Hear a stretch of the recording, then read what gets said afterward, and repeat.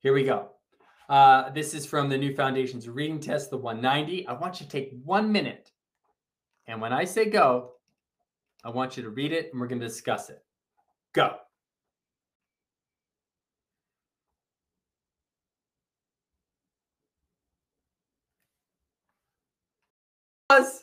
Okay, you read it.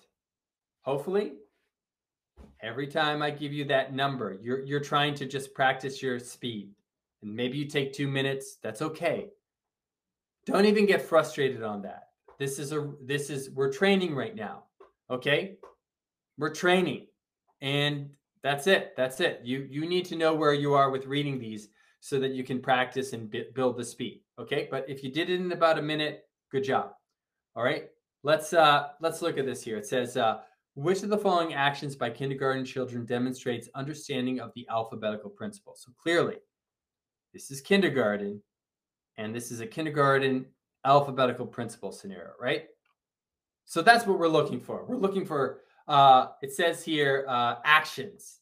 I like that word action. So what task did you, are you having them do?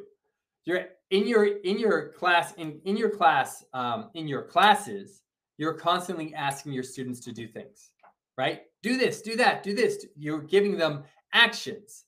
Sometimes it's a math class and you give them math actions.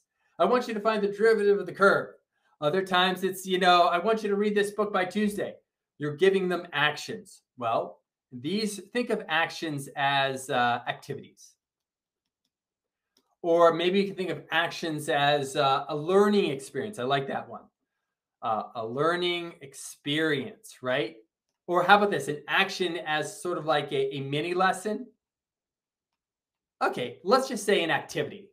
So it really says which of the following activities for kindergartners helps with alphabetical principle, which is a, a alphabetical principle activity. That's what it should have said, right? No one says actions. what was I thinking? Well, actually, that's interesting because uh, no one does say actions. You say activities. So that means the person that wrote this was either trying to be original or they're, you know, you see what I'm saying? That's a clue on who wrote this because no one says actions. What's your action in math? No, you say, what's the activity in math, right? Anyways, and it doesn't matter, doesn't matter. Maybe they're trying to just not use the word activity so much. But basically, what this says is what's an activity for the alphabetical principle? All right, so here we go. Uh, is it, uh, I want to work on the alphabetical principle, so we should do the alphabet song? Um, I'm going to put a red flag on that, right? Remember, we said you got to be careful with that. It might help get the letters in the student's oral language, which is always good but it's not necessarily going to help them with letter sound correspondence, right? Cross that one off. How about this one right here? Uh, recognize and name letters of the alphabet on letter cards. So this is this is a letter recognition and naming activity. But remember, we said with the alphabetical principle, it's it's more about matching up letters with their predictable sounds. So we're not doing a, a recognizing and naming letters of the alphabet, right? That might be more like uh, that might be more like something like this, recognizing and naming letters of the alphabet, or something like this that helps them recognize and name uh, and name letters of the alphabet with a certain speed and automaticity. So that's really not what we're we're doing, or or maybe even something like this, right?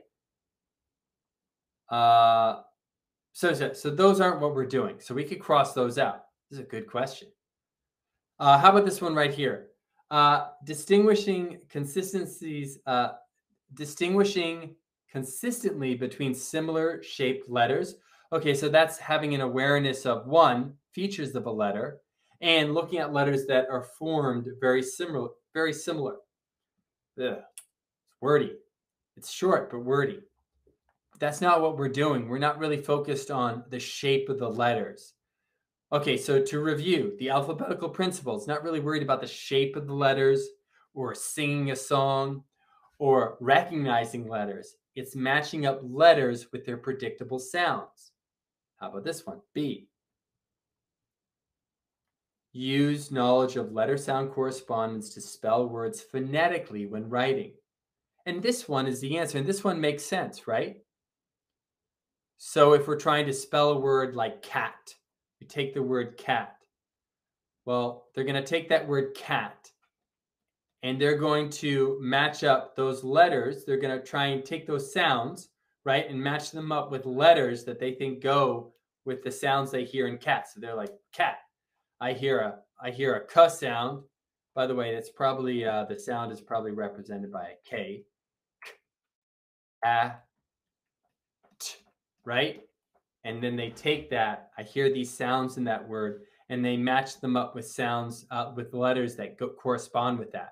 So maybe they write cat like that. So what they're doing is they're writing out the word phonetically, how they hear it.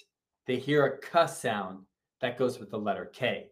They hear an a sound that goes with the letter A. They hear a t sound that goes with the letter T. So phonetic spelling is spelling using the alphabetical principle. It's not necessarily correct spelling, okay, but in, it's inventive spelling. They're matching up sounds with spelling patterns, with the most basic spelling patterns that they know, okay? All right. Team, who likes this question? That's a good question, right? That's a good test. It's short, it's got a lot going on. The answer is B. And uh, that is a, a great, great question. Okay.